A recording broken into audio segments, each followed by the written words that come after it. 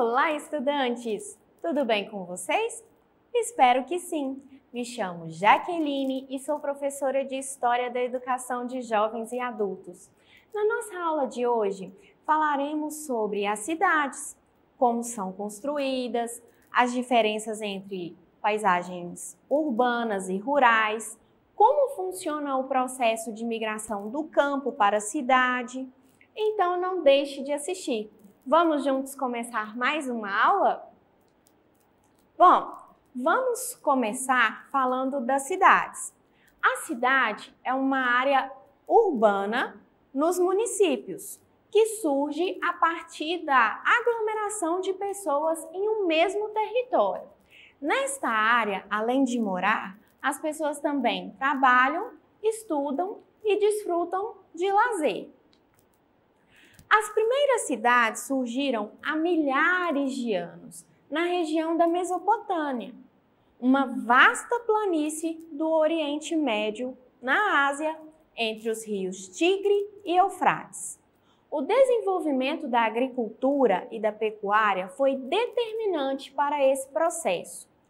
Agricultura é o conjunto de técnicas utilizadas para cultivar plantas com o objetivo de obter alimentos, bebidas, fibras, energia, matéria-prima para roupas, construções, medicamentos, ferramentas ou apenas para contemplação estética. A quem trabalha na agricultura chama-se agricultor.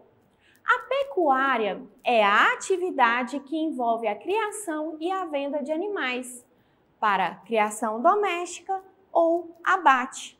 Abate para é, posteriormente servirem de alimentos. Com o cultivo de alimentos e a domesticação de animais, os grupos humanos que eram nômades, isto é, mudavam-se constantemente à procura de alimentos, tornaram-se sedentários, ou seja, passaram a ter moradia fixa e, com o tempo, desenvolveram o comércio. Assim, formaram-se pequenas comunidades que mais tarde originariam os primeiros vilarejos e cidades. Vamos conhecer agora algumas das cidades mais antigas do Brasil? Começamos com Canemeia, que fica no estado de São Paulo.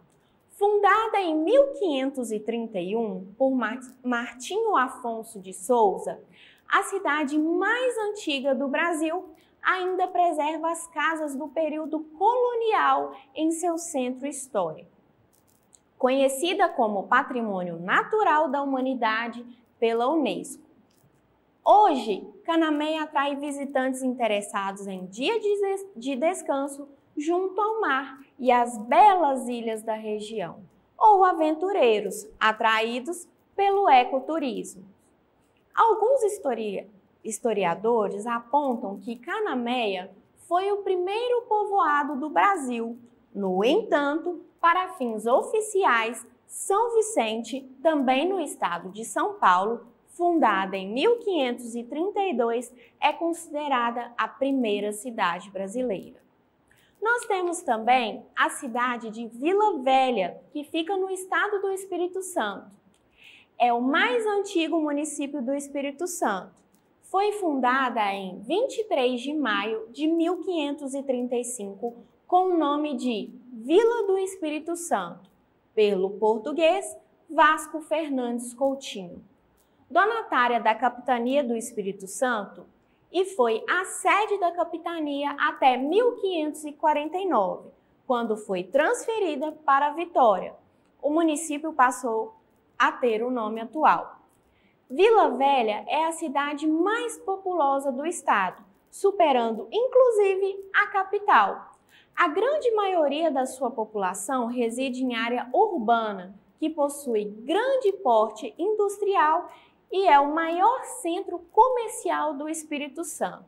Está a 5 quilômetros da capital do estado e possui 32 quilômetros de litoral, sendo praticamente recortado por praias. as quais constituem importantes ícones turísticos e paisagísticos do município, como a Praia da Costa, a Praia de Itapuã e a Praia de Itaparica. Por ser o município mais antigo do estado, Vila Velha possui construções do século XVI, como o Convento da Penha e a Igreja do Rosário, do século XVII, que é o Forte de São Francisco Xavier, e do século XIX, que é o Farol de Santa Luzia. A cidade também é conhecida popularmente como a Veneza Capixaba. Outra cidade que conheceremos é Olinda, que fica no estado de Pernambuco. Fundada em 1535, Olinda foi elevada à vila em 1537 e foi a capital da capitania de Pernambuco até 1654. A cidade prosperou com o extrativismo do pau-brasil e o cultivo de cana-de-açúcar, tornando-se um dos mais importantes centros comerciais da colônia. Conhecida como a Pequena Lisboa por sua riqueza e luxo de suas construções, o traçado urbano de Olinda tem forte influência das ordens religiosas carmelita, jesuíta, franciscana e beneditana, que catequizaram os índios caeteses e permitiram a ocupação definitiva das terras. A invasão holandesa, em 1630, alterou a história próspera de Olinda. Para construir casas em Recife, os invasores, os invasores saquearam e incendiaram a capital pernambucana. E somente após a expulsão em 1654, a reconstrução da vila de Olinda começou. A saída dos holandeses à cidade não recuperou a antiga prosperidade e Recife passou a ocupar o lugar de centro econômico quando, em 1827, foi escolhida como capital de Pernambuco. No século XIX, Olinda voltou a crescer. Atraídos pelas qualidades terapêuticas dos banhos de mar e pela facilidade de acesso à capitania pela rodovia, os visitantes povoaram a orla com construções de veraneio e de moradia. Agora conheceremos Salvador, que é um município brasileiro e é capital do estado da Bahia. Situada na zona da mata, na região nordeste do Brasil, Salvador é notável em todo o país pela sua gastronomia, música e arquitetura conhecidas também internacionalmente, a influência africana em muitos aspectos culturais da cidade a tornaram o centro da cultura afro-brasileira. Primeira capital america americana portuguesa que corresponde ao atual Brasil. A cidade é uma das mais antigas do continente americano e é uma das primeiras cidades planejadas no mundo. Ainda no período do Renascimento, sua fundação em 1549 por Tomé de Souza ocorreu por conta da implantação do governo geral do Brasil e pelo Império Português. Agora que conhecemos um pouco mais das cidades mais antigas do Brasil, vamos falar sobre a paisagem das cidades? Diferente da paisagem do campo, onde predominam elementos naturais como rios, montanhas, florestas. A paisagem urbana, resultado diretamente da ação humana, é, é predominante as construções, como edifícios, casas, ruas, praças, dentre outras. Devido a essas construções, muitas vezes nas cidades, os elementos naturais estão ausentes ou são bastante modificados. As paisagens urbanas podem ainda se diferenciar de acordo com a atividade econômica predominante da região. Assim, nas cidades onde prevalecem a atividade industrial, a paisagem é marcada pela presença de fábrica, das moradias dos trabalhadores e do intenso trânsito de cargas, Por sua vez, em cidades as quais predominam o comércio e a prestação de serviço, observa-se mais lojas e um intenso tráfego de mercadoria e de pessoas. A indústria, o comércio e a prestação de serviço são as principais atividades econômicas nas áreas urbanas. A indústria é responsável pela transformação de matérias-primas, como couro, algodão, lã e o ferro, em produtos como calçados, roupas e máquinas. Mesmo essencialmente urbana, a atividade industrial depende do campo, uma vez que as matérias-primas que abastecem a indústria são obtidas pela atividade rural.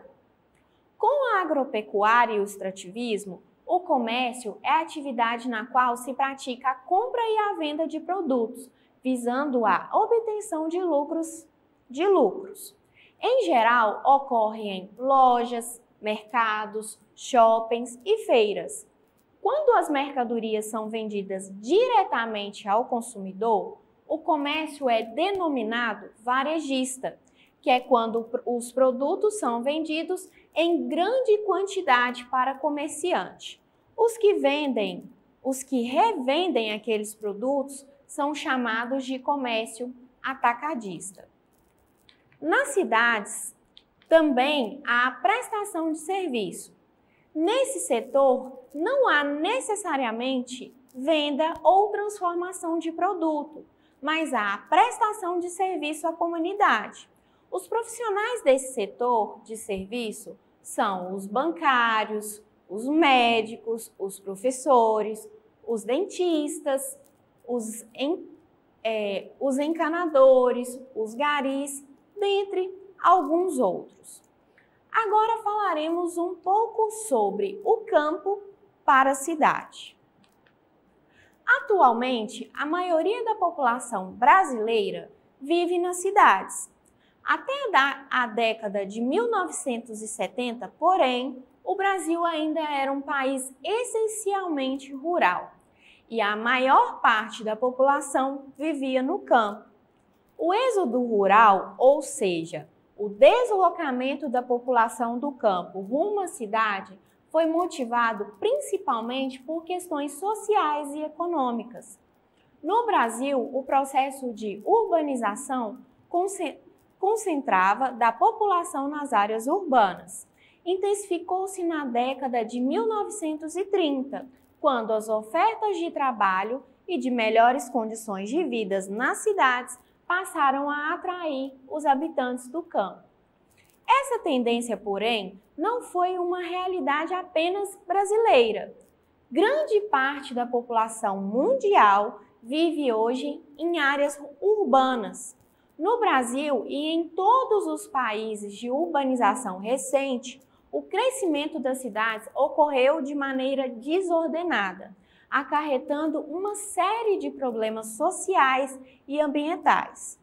Agora que falamos sobre todo o nosso conteúdo, vamos a uma informação complementar sobre nossa cidade. Falamos de cidades industriais, e de cidades de comércio, não é mesmo? Mas a nossa cidade é comercial ou industrial? Para responder essa pergunta, é necessário saber de onde vem a maior fonte de renda da cidade: da indústria ou do comércio? Quando analisamos dessa forma, a pergunta não é tão, tão difícil, não é mesmo? Não é tão complicada de se responder, Após a década de 1940, a extração de mica e pedras preciosas trouxe um forte crescimento populacional, ao lado da pecuária e do comércio. No entanto, com o declínio dos recursos naturais e da agropecuária, o giro de capital só foi possível com a entrada de renda enviada por emigrantes que rumaram a outros países, sobretudo aos Estados Unidos. A atividade comercial constituída é a principal fonte de renda gerada na nossa cidade. Então, nossa cidade é uma cidade comercial. Agora que já vimos todo o nosso conteúdo, Vamos juntos fazer a nossa atividade de fixação? Vamos lá? Vamos dar início? Como é de costume, nós vamos ler todas as perguntas e posteriormente nós vamos responder juntos, ok? Na pergunta de número 1, um, pergunta: O que são cidades? Pergunta 2: O que são nômades? Pergunta 3: Qual a diferença de comércio atacadista e varejista? E pergunta de número 4: O que foi o processo de urbanização? Vamos juntos então responder? O que são as cidades? Uma cidade é uma área urbanizada que se diferencia de vilas e outras entidades urbanas através de vários critérios, os quais incluem população, densidade populacional ou estatuto legal. Pergunta de número 2: O que são nômades? Nômades são as pessoas que mudam constantemente à procura de alimentos. Elas não possuem moradia fixa. Pergunta de número 3. Qual é a diferença de comércio atacadista e comércio varejista? O comércio atacadista vende em grande quantidade, geralmente para comerciantes que revendem, e o comércio varejista vende para pessoa física em pequena quantidade. Pessoa física é aquela pessoa que não é jurídica, né? Que tem ali o CPF dela, aquela pessoa é comum, igual eu, você e assim sucessivamente. A pergunta de número 4 foi como é, foi o processo de urbanização do Brasil. O processo de urbanização do Brasil intensificou-se na década de 1930, quando as ofertas de trabalho e de melhores condições de vida nas cidades passaram a atrair os habitantes do campo. Bom, agora que já vimos todo o nosso conteúdo até aqui, já respondemos juntos a nossa atividade de fixação, agora é com você. Em seu caderno, faça um breve modelo de uma economia, um breve relato, perdão, da economia da sua cidade. Como é o modelo de economia da sua cidade? Como funciona a economia na sua cidade? O dinheiro gira através de quê? Através da indústria ou através do comércio? Eu quero que você faça um breve relato sobre isso no seu caderno, ok? E por hoje é só, vamos ficando por aqui e eu aguardo vocês na próxima aula.